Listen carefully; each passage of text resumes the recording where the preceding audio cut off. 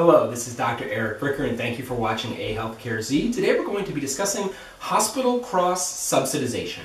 So it's a well-known fact that Medicare and Medicaid under-reimburse hospital systems for the care they provide and that hospital systems then have commercial insurance patients then overpay for the care that they provide to them. And so that's where you get the cross subsidization from, right? So you're subsidizing the underpayment by Medicare and Medicaid by having the commercial insurance overpay. And that's just how hospital finance in America works. Okay, now let's get into some specific numbers. These statistics are actually from the American Hospital Association themselves, and I will leave the links in the show notes. And so you can see here that Medicare and Medicaid underpay by 13%.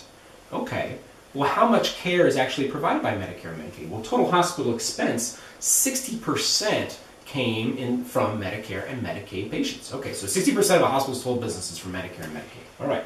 Now, there's Medicare and Medicaid, there's commercial insurance, but then there's also just non-payment. There's a lot of patients that come in that just don't pay at all. That's uncompensated care, and that totaled 38 billion. Okay.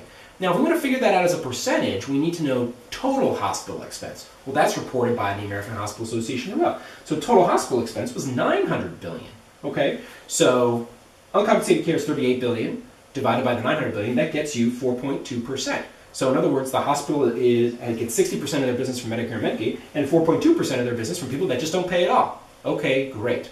Now, hospitals still make money. They still have a profit margin. Even nonprofit hospitals still have a profit margin. What is that profit margin? That was reported by the American Hospital Association as well. It was 7.7%. So knowing what their expense is and knowing what their profit margin is, you can then solve for, okay, well, what was total hospital revenue? And that was $975 billion, okay?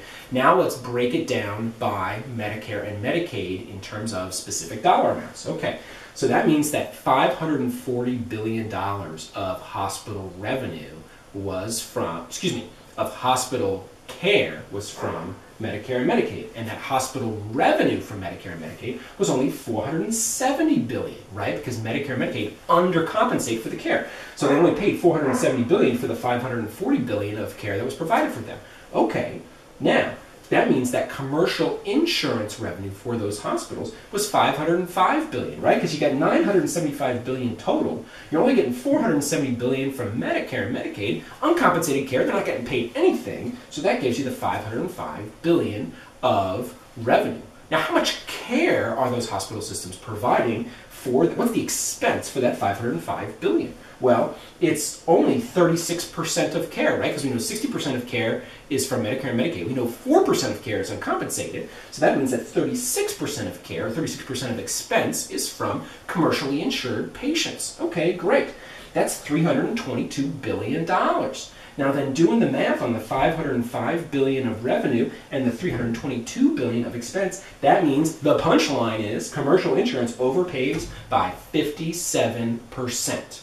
Now, all these numbers are approximations, right? Because the fact that Medicare and Medicaid both undercompensate by 13%, somewhat of a coincidence. The fact that the care from Medicare and Medicaid is 60%, I mean, that's a very round number. Maybe it's 58, maybe it's 62. Okay, but the point is, is that Medicare and Medicaid underpay and commercial insurance, which is really employers in America with their premiums, or if they're self-funded, they're actually paying out the, pay, the claims themselves. So employers and employees in America overpay by 57% to make up for the fact that Medicare and Medicaid and uncompensated care underpays the hospitals. And that's my point for today. Thank you for watching A Healthcare Z.